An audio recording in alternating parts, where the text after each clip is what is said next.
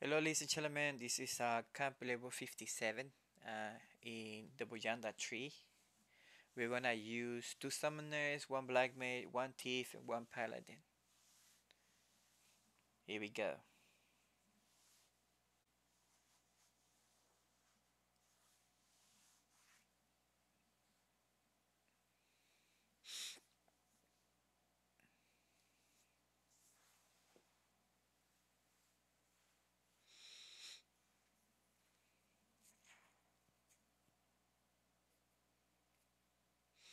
For this one, the thief and the and the and the uh, uh, paladin they're gonna attack a little bit to to create hate.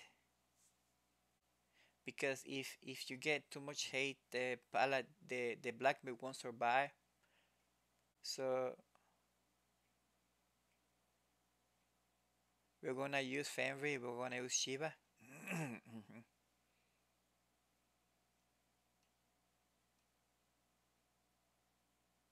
Crescent Moon, Double Slap, Free Saga 2, and, and Free, free Freeze 2.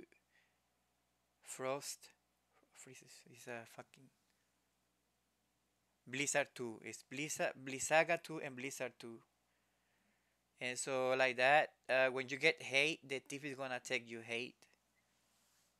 And that they can kill it however they want to be. But it's very important to protect the, the, the black mage. Um, and that's it. That's it. That's how you kill him very fast. You can one shot him real quick. This this um this one works only at 57 because because of uh of Blizzaga is a 57 spell. Now we wanna see it again how we how we do it here. Remember it's very important to protect the blind mage.